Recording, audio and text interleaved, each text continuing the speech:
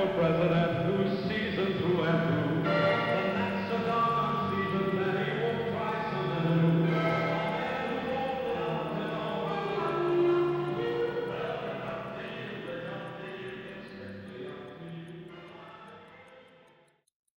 Twelve twenty nine PM.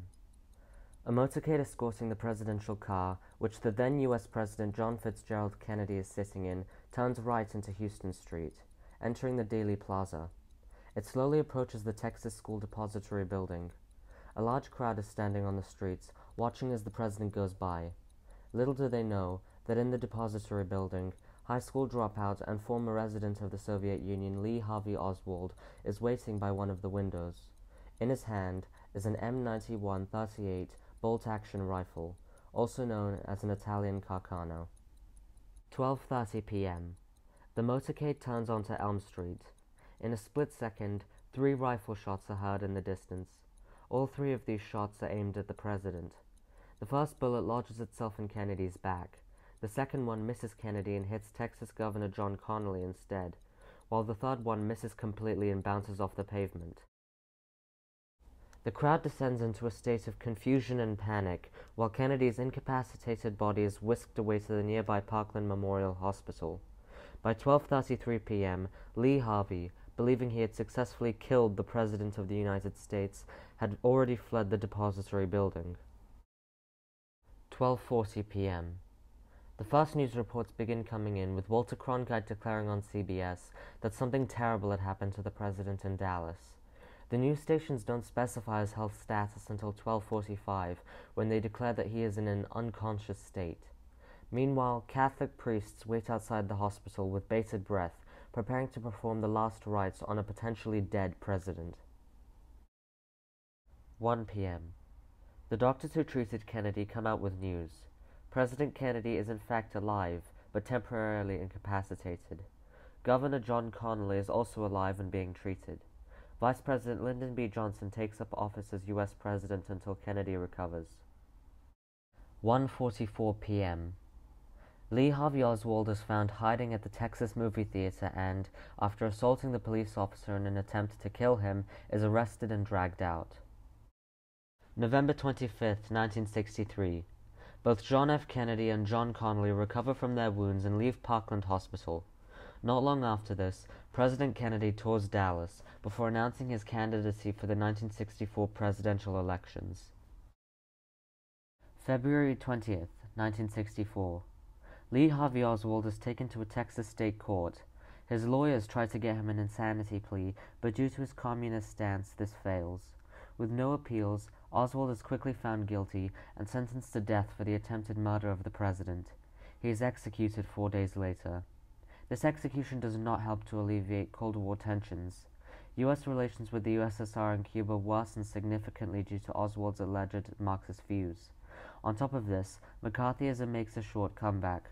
With this new opposition, the counterculture movement is snuffed out in its roots before it can properly gain traction.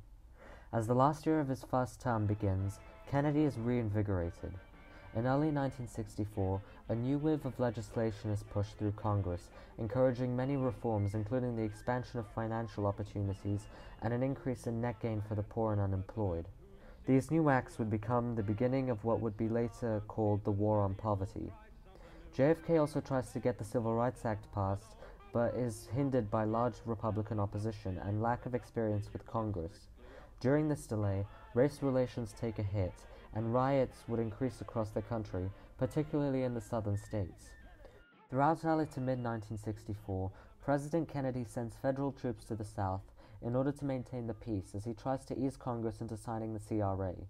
It wouldn't be until 1967 when the Civil Rights Act is finally passed. November of 1964 rolls around. Nearly one year after the failed assassination attempt on President Kennedy, Republican Barry Goldwater is placed up to run against him in the presidential election. The election season becomes really heated, and in the midst of it, JFK makes the controversial decision to drop his Vice President Lyndon B. Johnson as his running mate, instead replacing him with the more liberal North Carolina Democrat Terry Sanford. This angers many Southern Democrats as well as LBJ, who begins his own faction within the Democratic Party. In the final election results, however, JFK manages to defeat Goldwater, winning a second term. This causes the Republicans to become really bitter, and throughout his second term, President Kennedy has to deal with them trying to introduce anti immigration legislation against Eastern Europeans, as well as their constant refusal to accept most of Kennedy's policies. As the 60s progresses, the Vietnam War becomes an increasingly big topic in American debate. During his first term, President Kennedy slowly became more opposed to it. By 1964, there's only around 100,000 U.S. troops in Vietnam, and soon a slow withdrawal of U.S. troops begins, reducing American support for the South to aid and advisors. JFK also encourages the foundation of the United Nations Vietnam Combat Force in order to make the war more of an international issue rather than just an American issue. These plans ultimately fail, and the Vietnam War ends in a Northern victory in 1967. On the bright side, the money saved from the Vietnam War is used to drive the ongoing space program.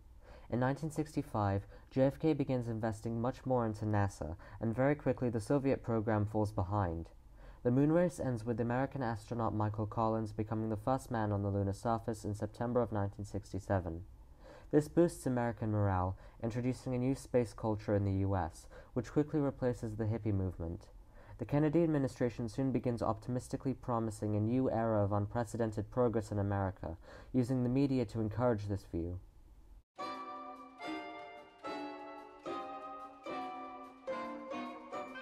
People of America, Today, our brave scientists are leading the quest across the cosmos.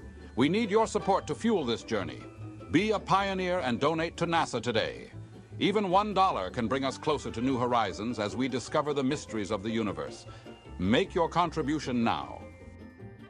Contrary to the views of Congress, funding for the space program skyrockets, and science-related subjects are promoted more in schools.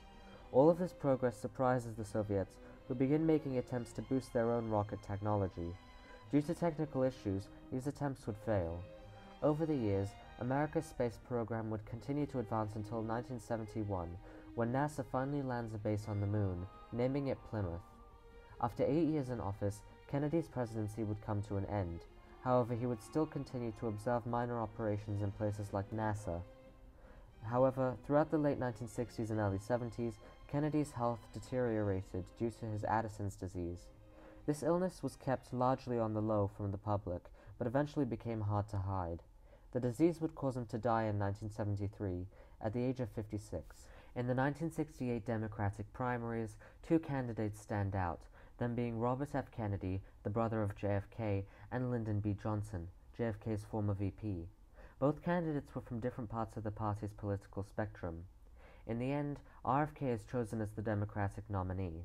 The Republicans, meanwhile, nominate Nelson Rockefeller. With the country having just come out of an arguably source of successful administration under Kennedy, RFK wins narrowly, becoming the 36th U.S. president in 1969.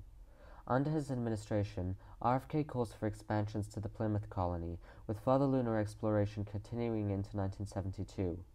In time, many countries began seeking to compete with the Americans in space, and throughout the late 70s and the 1980s, the nations of China, the Soviet Union, India, as well as many European countries begin working towards bases of their own. With this success, RFK is re-elected in 1972. By 1976, the Democrats had been in the White House for nearly 16 years, and the Republican Party started to look for new people to bring an end to the so-called Kennedy dynasty. They would eventually settle on a charismatic Californian politician and former actor named Ronald Reagan. Reagan's political views lead him to gain a lot of popularity, and he wins the 1976 election with ease, defeating Terry Sanford. Reagan would go on to serve two terms. In 1984, the Democrat Walter Mondale would defeat Richard Schweiker, becoming the 37th president. He'd only serve one term before handing the reins over to George H.W. Bush in 1988. After him would come Bill Clinton in 1992, who would serve two full terms. Meanwhile, the internet rises and America is taken into the 21st century, a time of exponential technological advancement and heightened space exploration. In hindsight, modern day views on JFK's presidency are pretty mixed, with many people calling him a compromiser who is beneficial for America in the long run, and many others calling him a disease ridden commie lover who is, quote, too soft on Vietnam. People often still wonder what would have happened if Kennedy's controversial presidency was cut short by that one deranged man in Texas back in 1963. What if he had succeeded in his attempts to kill the president? I mean, all it took was for that one bullet to not miss, and we could have potentially lived in a very different world. Food for thought. Anyway, thank you all for watching. Be sure to like, comment, and subscribe, and let me know in the comments what other scenarios I should do in the future. See ya!